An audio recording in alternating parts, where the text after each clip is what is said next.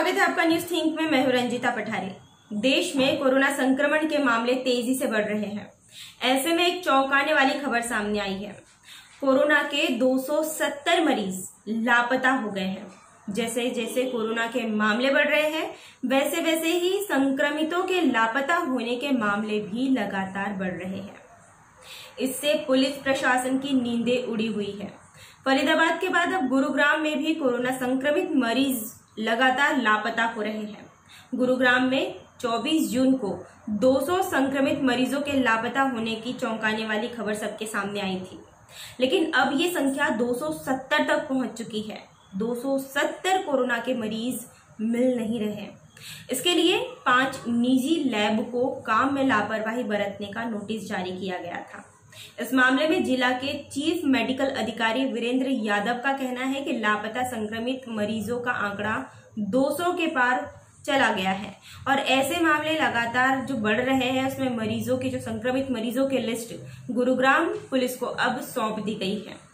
संक्रमित मरीजों की सीडीआर के आधार पर उन्हें ढूंढा जा रहा है। अधिकारी ने आगे बताया कि बहुत से संक्रमित मरीजों ने अपने नंबर बंद कर दिए हैं, या फिर आरोग्य सेतु ऐप को ही अनइंस्टॉल कर दिया। जिसके बाद विभाग को ऐसे तमाम लोगों को तलाशने में चुनौती का सामना करना पड़ रहा है। अब ऐसे 270 संक्रमित मरीजों की लिस्ट जो पुलिस को सौंपी गई, उनके आधार पर जल्द से जल्द मरीजों को निकालने का, ढूंढ कर निकालने की कोशिशें तो की जा रही है। इसके साथ ही यह भी जाँच की जाएगी कि लापरवाही विभागी है या फिर संक्रमित मरीजों की है। आखिर ऐसा क्यों हो रहा है? क्या अस्पताल वाले उनके साथ अच्छे से पेश नहीं आ रहे हैं?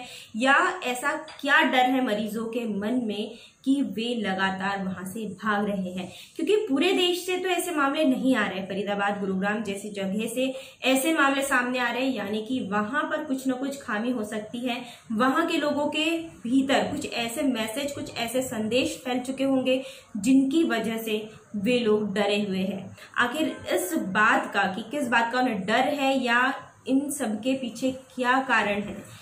इस बात की तह तक जाना बहुत ज़्यादा ज़रूरी है, तभी पता चल पाएगा कि आखिर संक्रमित मरीज़ भाग क्यों रहे हैं? क्योंकि संक्रमित मरीजों के भागने के साथ ही कोरोना के मामले और ज़्यादा बढ़ते जाएँगे। ये मरीज़ जिन जिन लोगों के संपर्क में आएँगे, उन लोगों के संक्रमित होने की संभावना बहुत ज़्यादा बढ़ जाएगी। इसीलिए सबसे पहले तो इन्हें ढूंढा जाना चाहिए और जो भी मरीज़ मिलते हैं उनके साथ अच्छे से पेश आकर उनसे पूछना चाहिए कि आखिर ऐसा क्यों हो रहा है। इस रिपोर्ट में इतना ही था। ऐसे वीडियोस की जानकारी के लिए बने रहिए न्यूज़ सिंह के साथ। Thank you